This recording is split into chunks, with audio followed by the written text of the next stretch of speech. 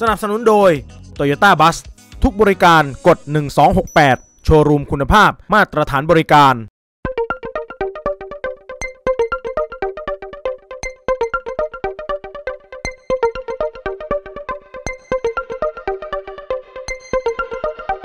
อนนี้ต้องส่งกำลังใจให้สาวแอปทักษออนกันเยอะๆ เมื่อแอปได้สูญเสียคุณพ่ออนุสรพักสุขเจริญ และเมื่อวันที่ 7 ตุลาคมที่ผ่านมา ซึ่งเป็นวันฌาปนกิจของคุณพ่อ ซึ่งทางแอฟก็ได้ร่วมอ่านคำไว้อาลัยและระหว่างอ่านไปนั้นแอฟก็มีความรู้สึกไม่ไหวต้องพยายามกลั้นสะอื้นและมีน้ำตาด้วย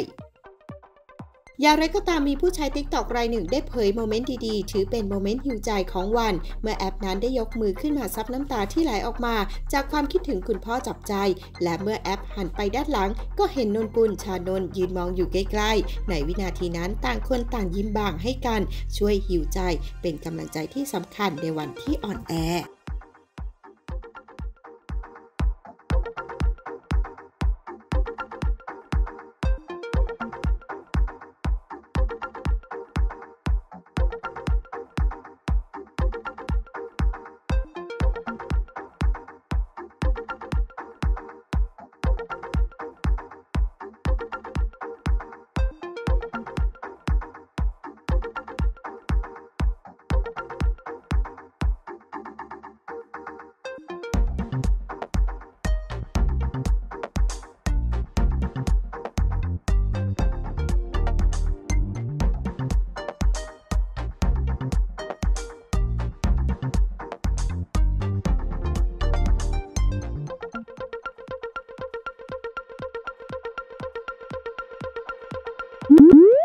และว้าวใหม่ล่าสุด ใครอยากส่งกำลังใจให้ทีมข่าว Bright TV ปุ่ม Super Thanks หรือปุ่มขอบคุณ ฟีเจอร์ใหม่ของทาง YouTube ได้ทางด้านล่างขวามือ Bright TV ขอบคุณค่ะ